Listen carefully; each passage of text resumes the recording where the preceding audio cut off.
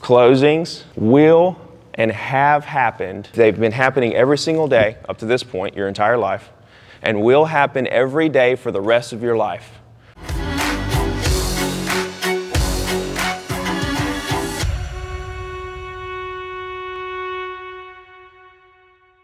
Um, how many people here, everybody included, came here with an open mind today? Okay? Whether you did or you didn't, when you walk out that door, my goal is for you to have a different perspective on your business, right? And I want you to be able to see the path of a predictable business, okay? Whereas you know, when you walk out that door, what you learned today, I want you to know where you're going to be in five years, in 10 years. Okay? And through that process, also sell more property this year and next year. Now, perspective. I said perspective. That's a big word. That's a very powerful word. And this is what you need to focus on just for a second.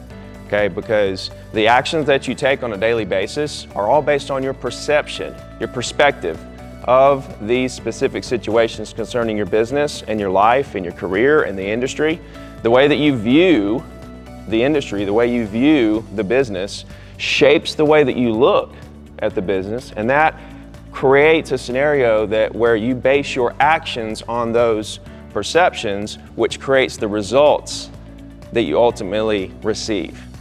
So in my mind, if we can if we want to change our results, then we have to change our perspective so that it creates different actions.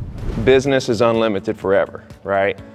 The name of this session is Welcome to Your Real Estate Dreams, where business is unlimited forever. So let me give you the thesis, and that is this, and this is something maybe even to write down. Closings will and have happened. They've, they've, they've been happening every single day up to this point, your entire life, and will happen every day for the rest of your life, regardless of market conditions. Closings have happened your entire life, every single day, and will happen every single day for the rest of your life, regardless of market conditions. Now, as you hear that, it starts to open up your perception just a little bit, right? It starts to give you a little more confidence in the business in the industry because a lot of people are scared about what? Market's crashing. Market crashing has nothing to do with your success or your, your production as a real estate agent. Closings continue to happen every single day.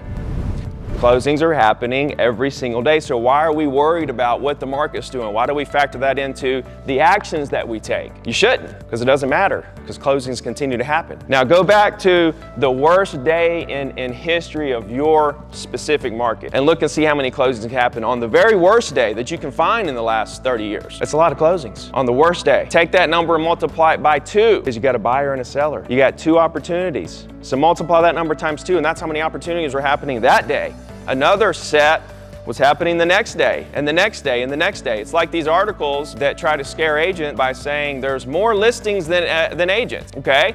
Back when they wrote that article, things were selling in one day. So the 1.5 million listings and 1.2 million agents, at the moment that they wrote that article, heck, those listings were gone that day and what? There's another 1.5 the next day and another 1.5 the day after that. I want you guys to understand how abundant and incredibly unlimited this really is happening. Let's take the shutdown, the economic shutdown, which was the scariest moment, I would think, in, economically in the last 100 years. During that 45-day period, from mid-April to May 1st, during that 45-day period, compared to the same 45-day period the year prior, 80% of the same amount of closings, right? 80%.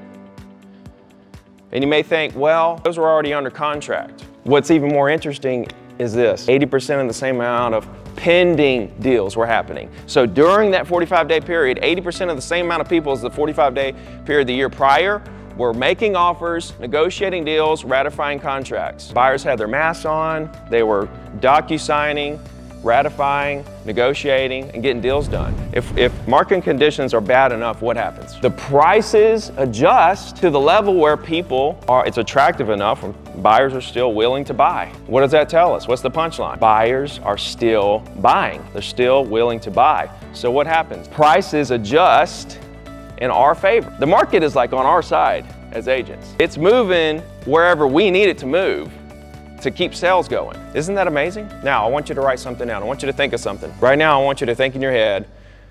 I want you to think about what the biggest fear, okay, or the biggest excuse that you have right now that's holding you back. Just take a minute or two and think, and even if you don't have one, dig.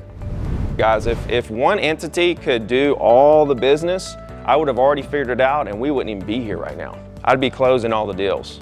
Nobody can do it. You got billion, billion, billion dollar companies trying to figure it out. They can't figure it out. It's not gonna happen. It's a one-on-one business. It's a customer service business. It's a representation business. So when I start to realize business is unlimited, closings happen every day, it brings me to one more key point, which made me say, okay, let's go. And that was that competition doesn't exist. If you lose a listing, great. All that time you would have spent on that listing to get it signed and do the lockbox and set up showings and do all the things and negotiate, do the closing. How many hours are we talking here? You just got all that back, future time, that you can now go out and get five more deals. You lose a deal, multiply it into five deals by not sulking about the lost deal and using that future time to actually be productive. You can't do anything about the lost deal. It's done. Go get more.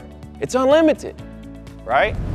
Five years ago, actually, I wrote two books, Zero to Diamond and List to Last. Okay, through that, those books took off, started speaking, I started writing, I started coaching, and I became the world's first completely free real estate coach. And I'm on a mission with that avenue of what I'm doing in my life to help you guys. And the overall mission statement is to reduce the failure rate in the real estate industry, one agent at a time.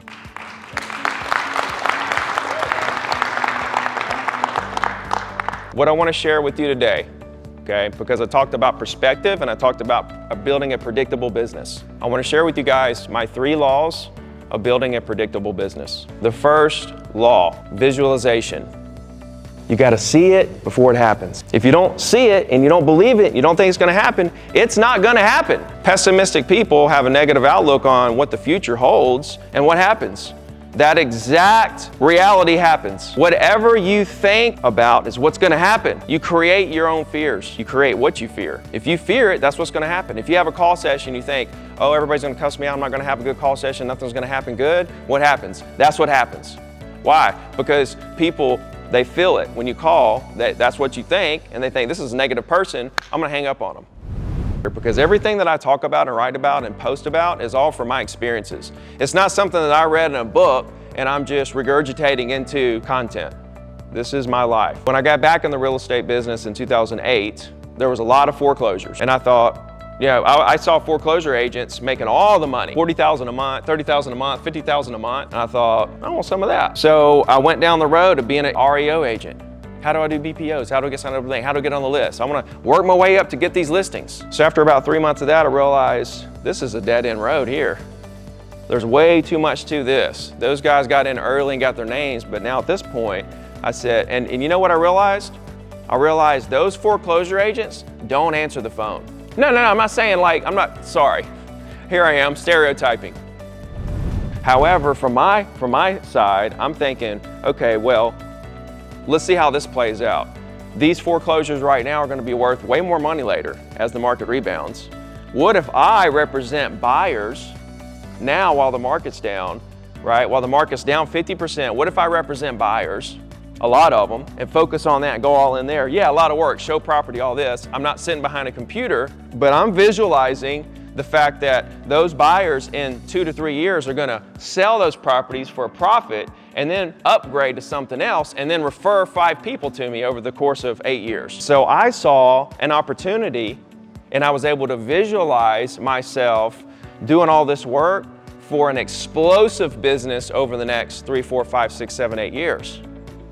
And so I was able to visualize that, right? The, the visualization moment. Let it come organically. Keep your head down and work hard, right? And you'll see, you'll start to see things.